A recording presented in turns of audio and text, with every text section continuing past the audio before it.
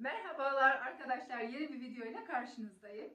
Bu videomda sizlere mevlüt örtülerimizden bahsetmek istedim. Fikir amaçlı yine göstermek istedim.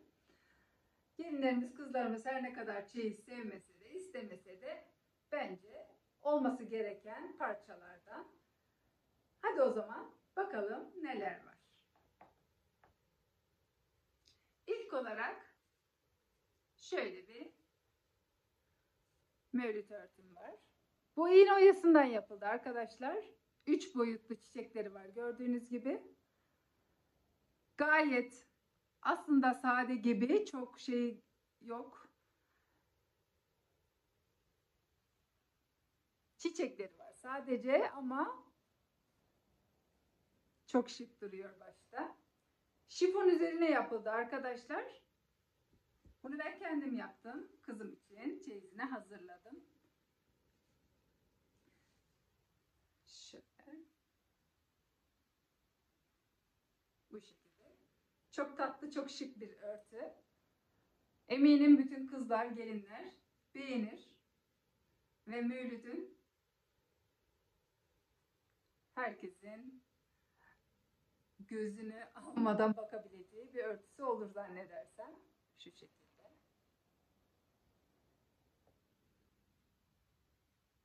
Siyah şifon üzerine yaptım arkadaşlar bunu. Geçelim bir diğerine.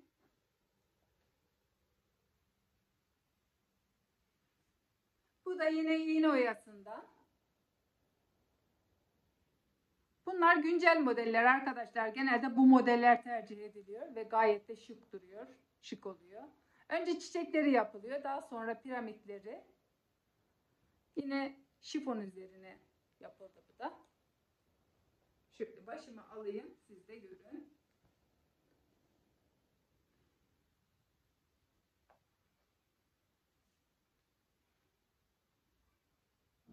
Şekilde.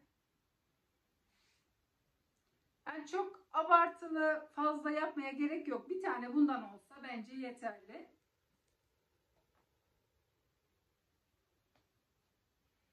Bir diğer örtümüz bu benim kendi çeyizimden.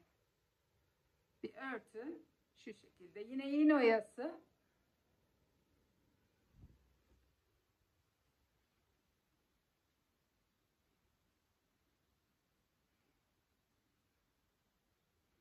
Bu da bu şekilde arkadaşlar. Krep de mor üzerine yapılmış.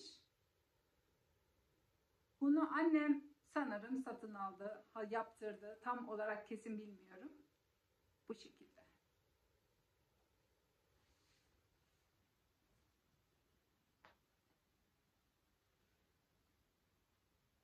Bir diğeri, bu da yine benim çeyizimden. Bunlar eski modeller arkadaşlar ama yine de yapılabilir, yaptırılabilir. Burasında ufak bir deforme olmuş. Şöyle alayım başına.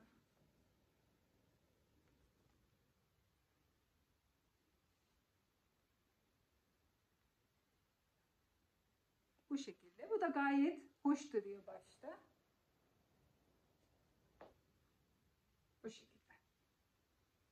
Yine kumaş, kumaşı krep demor. Ve son olarak en göz alıcı parça. Bu da tel sarma arkadaşlar. Uç kısımları tel kırma. Bu şekilde. Ben tel kırma yapabiliyorum ama tel sarma gayet zor bir iş. Ben bunu yaptırdım çocuklarıma birer tane. Bu şekilde kafaya gelen kısmı bu. Tam başın üzerine gelen kısmı.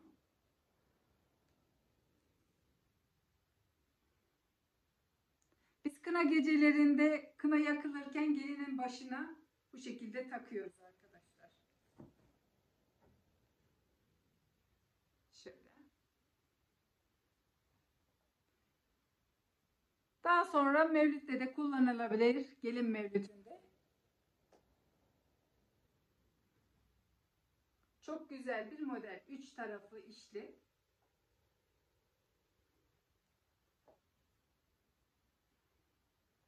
Ben bunu yaptıralı bayağı oldu. 3 ya da 4 sene ama kesinlikle hiç telinde solma ya da oksitlenme yok. Çok şık ve çok güzel duruyor. Siz de tercih edebilirsiniz. Umarım faydalı bir video olmuştur. Kanalıma abone olursanız, videolarımı beğenirseniz çok mutlu olurum. Kendinize iyi bakın. Hoşçakalın.